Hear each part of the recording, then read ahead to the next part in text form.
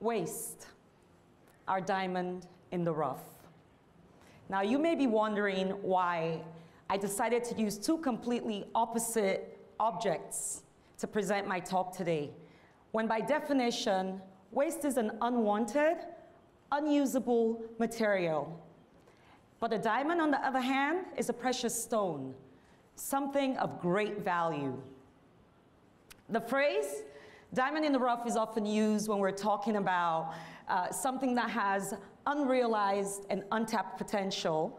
However, in its present state, that thing is perceived to have little to no value at all. Now, I want to ask you a question.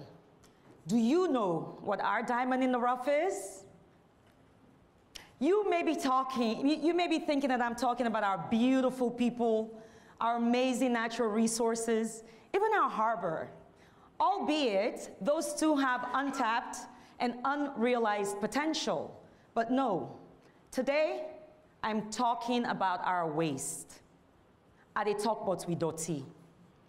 We generate it every single day. And we do so more when we're consuming food. According to the World Bank, every single one of us sat here, every single one of us generate about half a kilogram of waste per day. And for a city with 1.2 million of us, well, you're looking at about 540 tons of waste being generated every single day by Freetonians. This may sound like a little, but for such a small city, that is a lot. And we're not even considered a middle income city yet. Well, we all know what happens to that waste, right? It wastes away in our compounds, breeding mosquitoes. It gets burnt in our backyard, polluting the very air we breathe. It gets thrown away in our drainages, blocking the waterways and flooding our city. But a small percentage, about a third of it, ends up making it to the landfill where it remains unusable, but uh, potential unrealized, just wasting. You and I, we the people, we Freetonians, can avert this from happening. Imagine our city using this waste to do something amazing with it. Hello, my name is Aminata Dumbuya Jarr, and I'm a waste transformer. I want to take you on my waste journey. I recall in 1980 growing up in our Diamond City, Koidu Town, Kono District, and I can vividly remember every single morning waking up, sweeping my compound, and just before going to school and doing the same thing in the evening. I can clearly still remember my auntie's voice calling out to us, Una don't sweep, una don't towe di doti na di bien doti box. Well, she would do this to remind us about the habit of being clean. But she would also do this because every Saturday morning, we would get a visit from the sanitary wardens.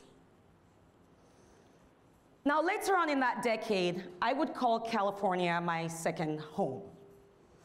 And I remember just easing in into the habit of keeping my environment clean because every Thursdays, the trash man would come with the trash truck to collect our separated, sorted waste. This was second nature. That's how it was supposed to have been done. In 2004, I repatriated to Sierra Leone, specifically to Freetown. This decision was spurred on by the conviction I had that I knew I could be instrumental and catalytic to the socioeconomic transformation that our country would undergo. Boy, was I in for a rude awakening.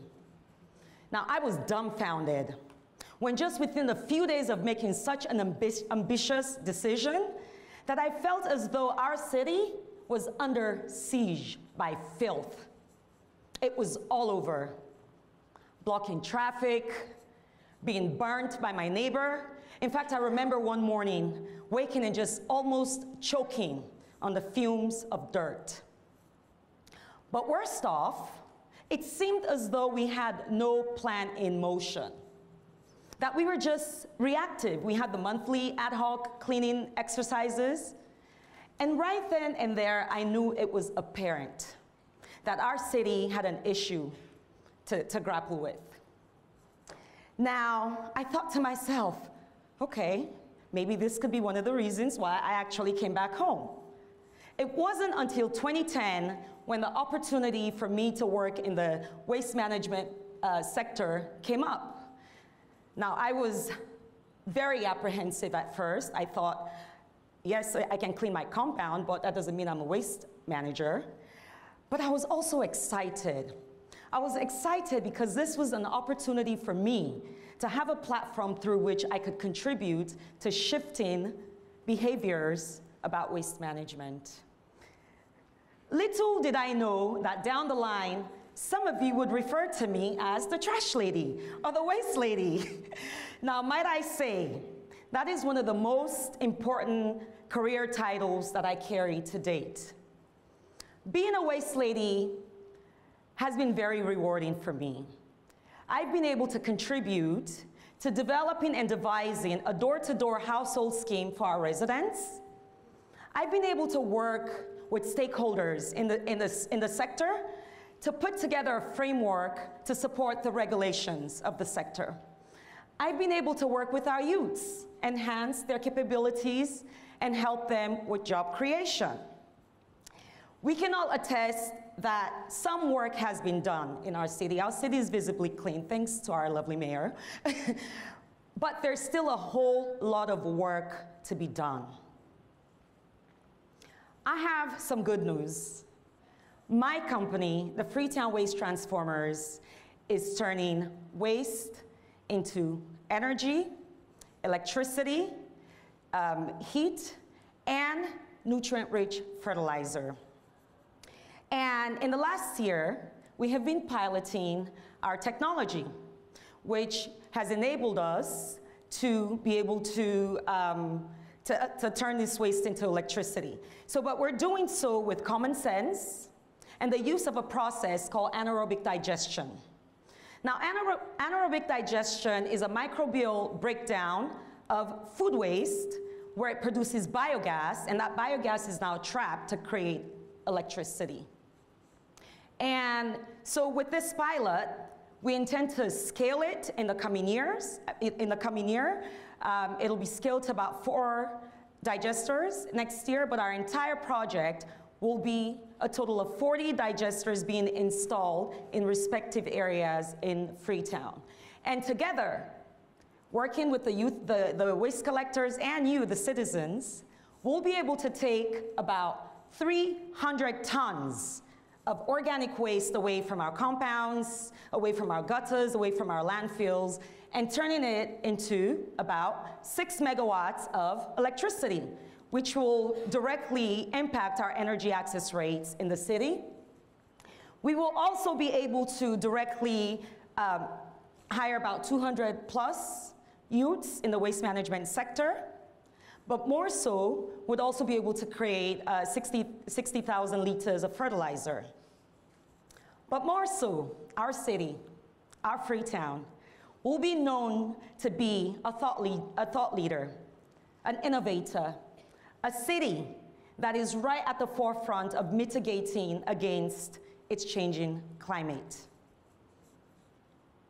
Now, we can all be waste transformers, right?